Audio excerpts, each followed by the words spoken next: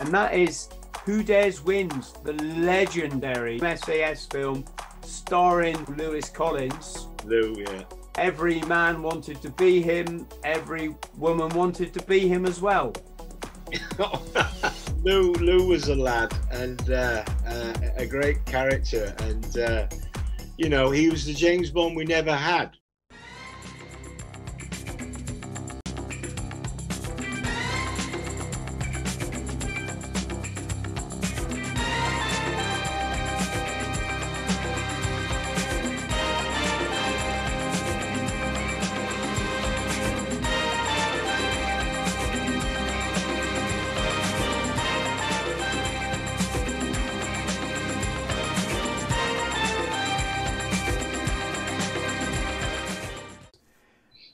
Anyway, Right. where do you want to go now? Yes, I'm gonna put. I'm gonna go.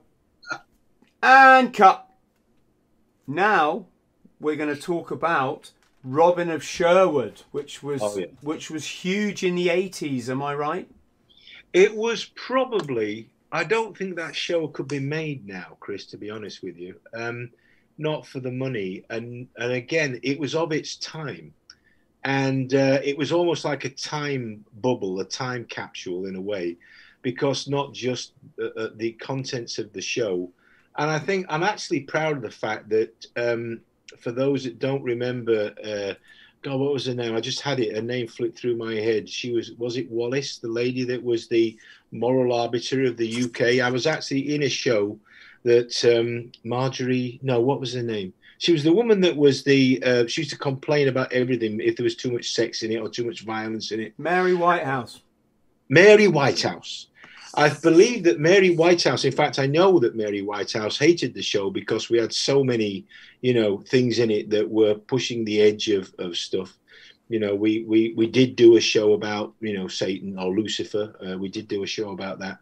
Um, and obviously about robbing from the rich and giving to the poor. So there was a lot of things that Mary Whitehouse didn't like. And there was, although we couldn't show any blood, we never showed any actual blood except tiny, tiny amounts. Uh, never any blood. It was too violent. Um, although we did go out at the watershed hour Saturday afternoon at five, I believe. And the one show that she was really worried about went out at seven because it was two hour, two hour thing. The Swords of Wayland went out between seven and nine. Um, and I remember Richard Carpenter, who wrote it, was in debate with Mary Whitehouse. We all watched it because I was fascinated being involved with the show that Mary Whitehouse objected to. Um, and uh, she came on, I think it was a Wogan or something. And she came on and she, she got introduced, and Richard Carpenter got introduced. And uh, Richard was introduced as a writer, as a TV writer. And Mary Whitehouse made this big diatribe about why Robin Sherwood was evil and satanic and God knows what else. And uh, Richard Carpenter just said, he said, all right, so look, he said, let's just start this. I'm a television writer.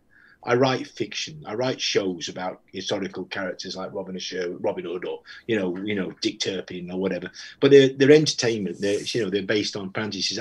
I'm not a professional television critic and pundit like Mary Whitehouse. And Mary Whitehouse said, "I'm not professional. Nobody pays me for what I do." And he said, "Ah, so I'm dealing with an amateur, an amateur with an opinion." And then he proceeded to take Mary Whitehouse limb from limb to pieces. So yeah, Robin of its day was very much of a time. Everybody wanted to be in the show. Lou Collins did an episode. I was given responsibility for making sure I didn't get in any trouble, where he played Robert Mark, the new sheriff of Nottingham. Lou came and did a show. Martin Shaw came and did a little guest star. Everybody did. Ian Ogilvy, Ian out there, mate. Uh, the Saint, he came and did a guest. Everybody came and did an episode. It was And, the whole. um, One of my all-time heroes is is alongside your good self, Mark, of course. Uh, Ray Winstone. Ray, yeah, Ray. Can I, can I can I just explain why I, I love this man? Um, bear with me. Let us get us back on. He made a film that had a real big impact on my understanding of life, especially coming from the, um, let's just say, you know, my my background. Um, I'm just going to get flash up a picture. It was this one here. So Ray, if you ever get to watch this, you, Kathy Burke, were just absolutely brilliant in it. um, and it and it really helped me to understand um, the sins of generations. Nil by mouth. That's the one. That's the picture I'm showing. I was in it, Really? and my scenes were cut by Gary um, because my scenes were too violent for the American audience. I heard it. You.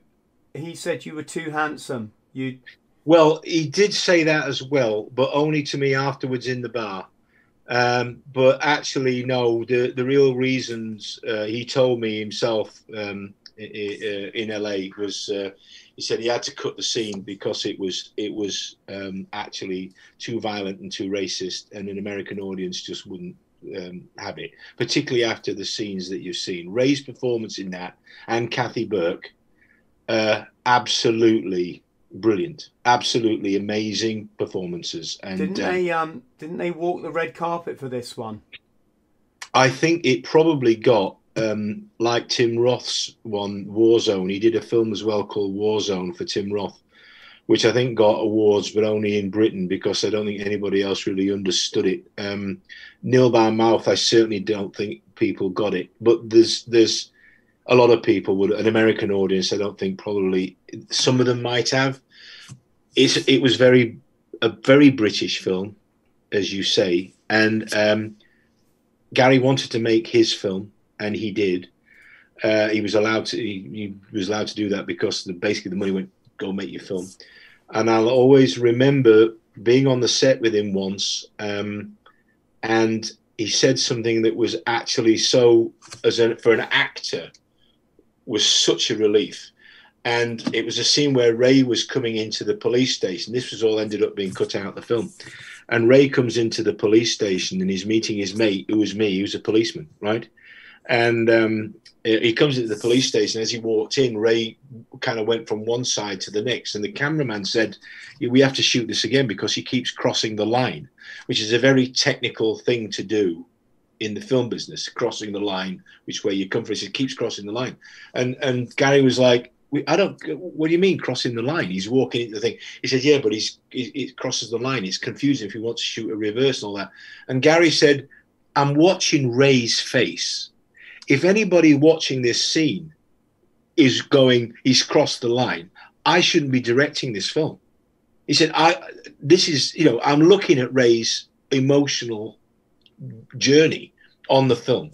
Technically, nobody cares about it, and I don't." just keep doing what. So we did, and I thought myself, Gary knows what he's doing. He knows what he wants, and he'll make a, a very powerful film, and he did. I mean, it's powerful piece of filmmaking. It's one of the friends at home. If you, I, I'll, I'll see if there's a, if I can put a link for for for it below. I'm sure I'm I'm sure I can find a copy.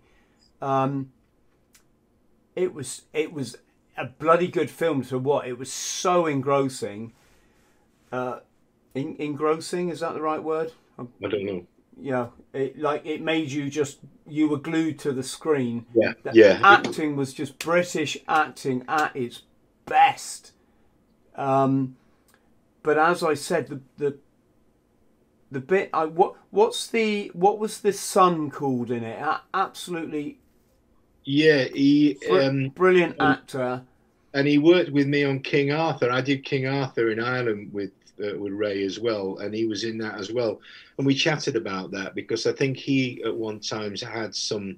I want to make sure I've got the right person. That if you're looking at IMDb, you want to dig it up Yeah, because I don't want to say the wrong thing. And we talked again about that journey with what we talked about earlier on. And uh, he'd kind of been on that journey and, and got himself back. Uh, Charles, I don't want to say the wrong name because I don't want to get sued. I don't want to get us sued. But yeah. I'm um, wondering if it's um, Charles Creed Miles. Let me just have a look. so he can sue you then if he wants to. But I think he'd been on a, a, a yeah, Charlie, Charlie. I think he'd been on Um, an interesting journey. Let's put it that way. Uh, and I think the film was was, you know, but it's not a film. I'm gonna be honest with you. It's not a film that I would want to watch twice or three times and sit there on a Sunday afternoon. It is more of an of a emotional battering than anything else. But there is that beautiful scene. Yet there are the most tender moments where the women are all dancing together at the uh, with her mum. She's dancing with her mum. Uh, Yeah. Oh, God, that is so Northern England as well. I know it's set in London, but there's so many parts of it. You go, oh God, I understand that, and the women are comforting each other and just dancing together. I went, oh God, heartbreaking. Yeah, it was set anyway. where it was set where I was born, southeast London. Yeah. Um, yeah. The reason, uh, not just not just the fact it's an exceptional film and the acting in it is just just class, but it's the bit where I, I yes, Charlie Creed Miles.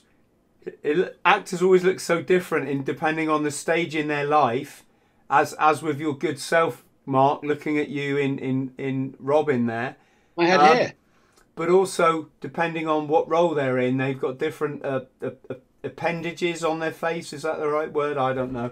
But the the bit where he goes, "My dad shot my fucking dog," and then I, I got it.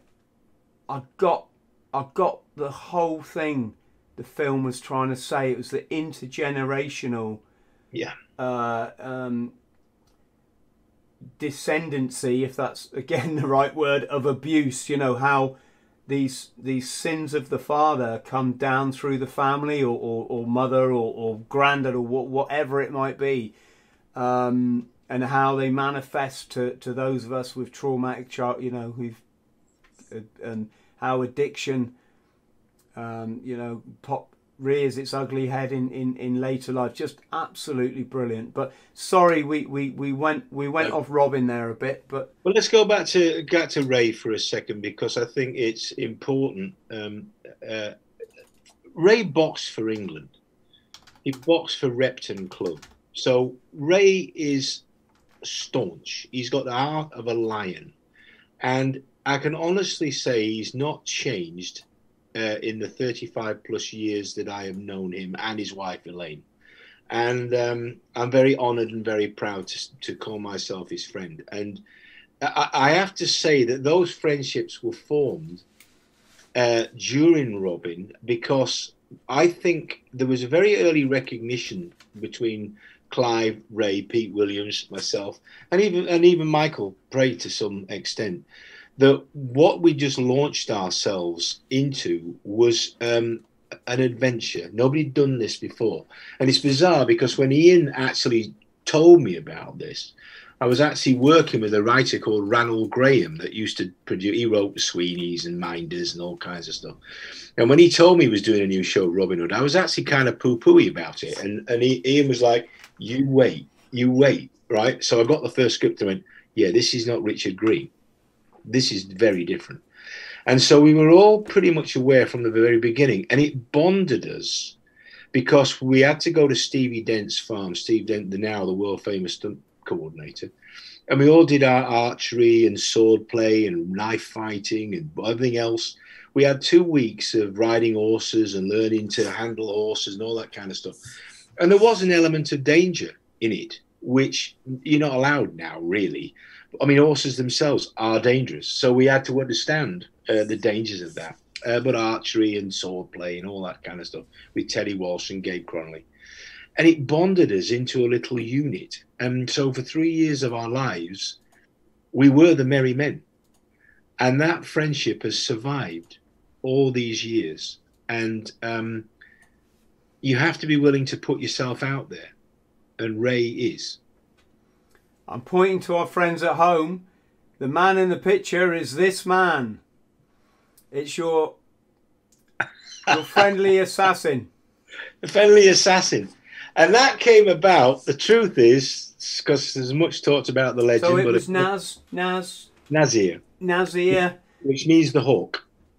And um, uh, I was going to originally be called Edmund the Archer. And the character in the original script was Edmund the Archer. On the first day of filming, Ian Sharp came up to me and he said, um, uh, How do you feel about being called Nasir the Saracen? And uh, can you do a sword fight with two swords? And I said, uh, uh Yeah, fine. How long have I got? And he said, oh, About 15 minutes. I went, Okay. So Teddy Walsh and I went and chose some fight, swords we could actually fight with, with two handed sword fighting style. Luckily, I'd done some, so I knew what I was doing. And uh, Michael Praed and I went behind the uh, trailers and bashed the crap out of each other for two weeks, and we put together the sword fight, which is now the one where Nasir becomes a merry man. And so during the course of that, Ian Sharp asking me that, and then Paul Knight asked me, um, uh, the writer, which this had never happened. This will never happen in television, probably ever again. Uh, Richard Carpenter recalled me and said, "Okay, we've got this character. Um, I didn't intend for it to be in the show, but it's going to end up in the show. Um, he's now called Nasir the Saracen. Um, have you got any ideas of what you would like to do with this character?" And I said to Richard the Kip, I said. Uh, I actually, just before we started this, was reading Runciman's History of the Crusades. So Stephen Runciman wrote three of the best books, uh, three three books, and I've read all three volumes of it's uh, Runciman, Stephen Runciman's History of the Crusades. So as I happen to know, there's a, a strong relationship between the cult of the assassins and the Knights Templar, and their relationship and how they traded. And Richard Carpenter went, "We'll use that. I'll use that." He said, "But there's no dialogue." He said, I really haven't written any dialogue for you. I don't know if I could actually. I, I said, I don't want the dialogue, kid. Give me the action. Give me the knife throwing, the sword fights, the horse riding. Give me the archery. Give me the tracking, the trailing. Give me all that. I don't need the dialogue. I'm, I work on the Clint Eastwood style of acting. If I can do it without saying the words, I will. So you don't need to give me dialogue. Give me the action. And he went, done. And that's what they did. So that's where Nasir the Saracen, his origins grew out of that. My gosh, can we just explore a bit the term assassin? Yes. As in the mid- in Middle Eastern term. Am I right in thinking that these assassins they used to smoke hashish? Has it? And that's where the name. Well, that's the origin of the word. Um, assassin comes from hashashin or hashishim, um, uh, which was apparently the origin of that. And the old, what they called the old man of the mountain, their fortress was on top of, I can't remember, was it Aleppo or somewhere else now? It's gone out of my head, but they had a fortress on the top of a mountain. And the idea was that they recruited people by visiting the, the, the, the castle. And they had literally all the wine, all the slave girls, all the basically the harems, everything you could want. And and the old man of the mountain would say, if you think this is heaven, you wait till you get to the real heaven after you carry out the mission, right? So they got loaded. They had a you know few spliffs, and uh, and they were in heaven. They could have anything they wanted, anything of beauty that was there, and um, they went to on their missions believing it didn't matter whether they died on their mission or not because they were going to uh, heaven afterwards, which has kind of been carried on in some traditions with suicide bombers and things like that. So um, that's where part of the origin came from. Of course, it was politically used by both the Crusaders and the, the Knights Templar. Uh, sometimes they worked, they were completely, um, although they were Muslim by origin, they did work sometimes with the Crusaders and for the Crusaders, and sometimes they worked with the. Uh, uh, they, they, apparently tried to assassinate Saladin as well at one time or another. Um, so they were pretty open to about who they actually got paid to, you know, assassinate. But yes, that's they that's part of the history. It was they smoked uh, hashish and uh, had been mm. given all these these pleasures. Back to your Robbins story then. So, and you're allowed to lie about this, Mark. That's absolutely fine. Don't shatter my illusion here or, or, my reality. Um, I'm betting you got lots of girls when you made this series. Uh, I have to say, there's many stories about this, and and um, it, we were like rock stars, and um, but everybody had uh, either stable relationships. I mean, Ray was married, you know what I mean, and he was he was you know. Um, uh, very well behaved, as was Clivey, uh, and all the guys. We we just actually were more interested in doing the work. Um, and the one time that I did see something that I was was was Michael Praed. We were out some doing a disco, and we've been invited to this disco. And uh, Clive will tell you this story as well.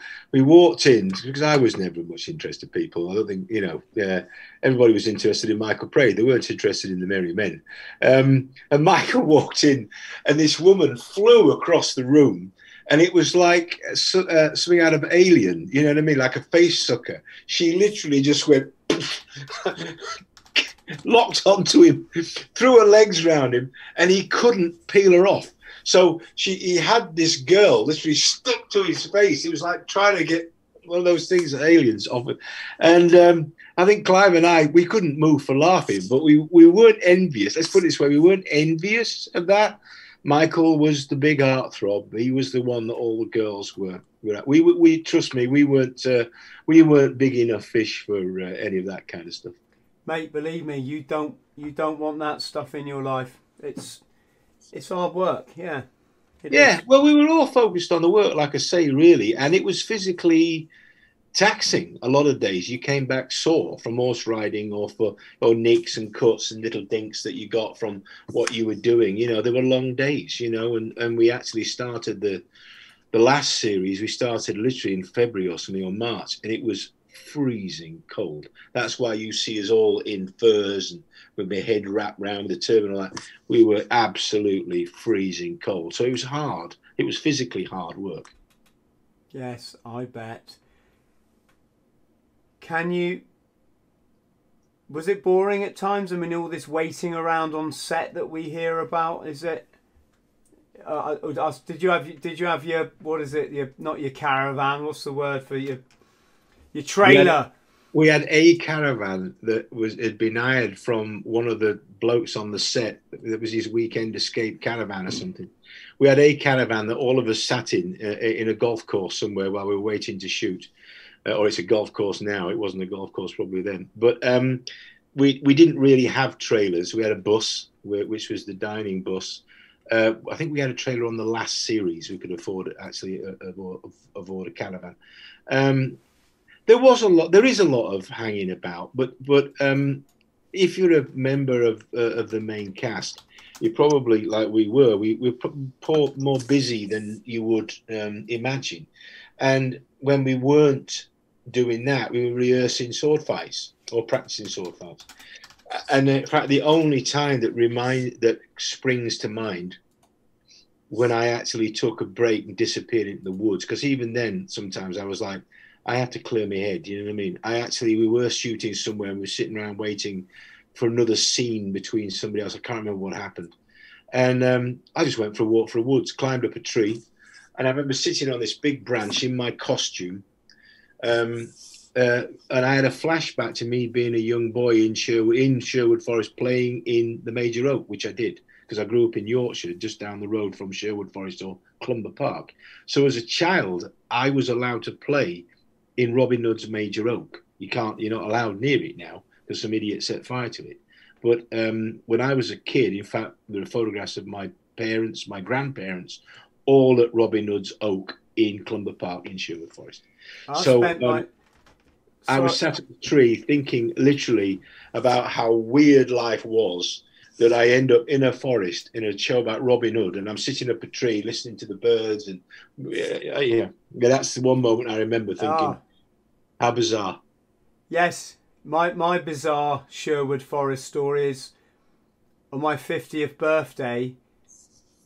I ran 108, 108 miles non-stop through Sherwood Forest. Bloody hell! Good for you and that that was at the end of a quadruple Ironman. So I, I'd, I'd have um, doing eight miles now, let alone 108 miles. Yes. I'd have probably 800 feet, let alone eight miles.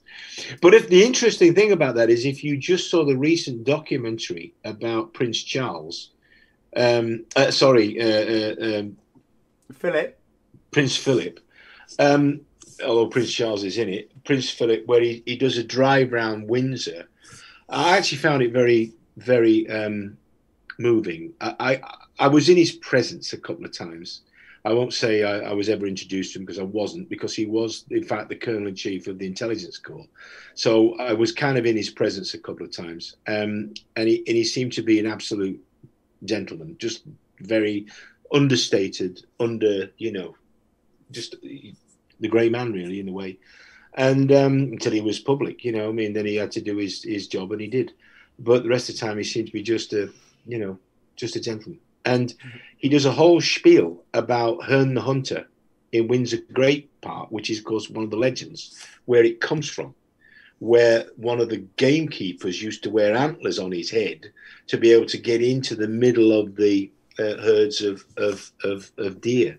So he, he talked he talked about Herne the Hunter, and it's funny how that legend then got spun into the the ghost of, of Windsor Game Park and the spirit of Herne the Hunter. Very strange. There's some very strange hunting related uh, narratives attached to the Windsors, and I don't want to get too deep, but of course Diana was the hunter goddess, wasn't she? Of course, yeah. In, in Greek yeah. mythology, and on their wed their honeymoon, the photo opportunity on their honeymoon, they did it from the hunting lodge.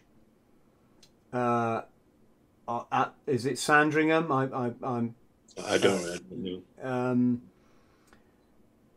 and um, yeah, maybe let's not go there. Just some very bizarre narrative. Oh, oh, and when she was buried, she was buried on the, the, um, that island on the was it the Balmoral estate or, or the sorry the Spencer estate, and one of the someone I, I, I'm not sure if it was a servant if you use that word these days, or, or who, but they were they said it, they were really surprised because that was where they buried their pets. You know, traditionally on on this they they buried their dogs there, basically, and Diana the hunt the hunter was always pictured if you look at her statues with a dog, and the alleged Fiat Uno that they believed hit the car in the tunnel, and this is true. It was it belonged to a uh, some immigrant, uh, like for example, an Albanian immigrant to Paris or something. They they they found this guy and he painted the car orange to hide the the identity of it, but the witnesses said, yeah, it was a white Fiat Uno. It had a big dog in the passenger seat. And yes, he this this guy had a had a dog. So yes, um, gets even deeper again when you go under the streets of Paris in that area. Uh,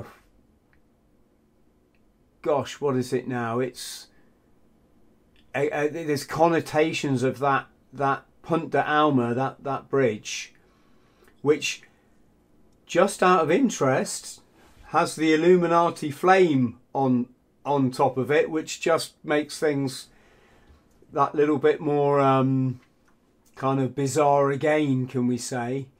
But um, yeah, there's there's some link to that area of Paris that has some real esoteric um, like hit history behind it. But ah, anyway, let's let's if you look at my, if you ever look at any of my tarot cards, you will see because we use the goddess. The, the the idea of the goddess with the hunting dogs is is thousands of years old. I mean, the idea of the hunting pack of dogs and the guardians.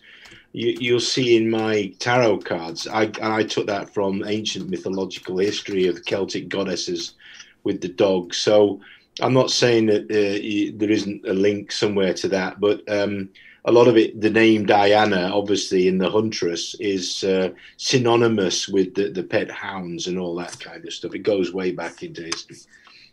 Yes, and of course, um, yes, for people wondering, like, if I'm supposed to be, I wasn't really trying to go anywhere there. I was just highlighting some, some kind of relevant hunting stories. But of course, the the the um, what's underpinning this narrative is is rituals.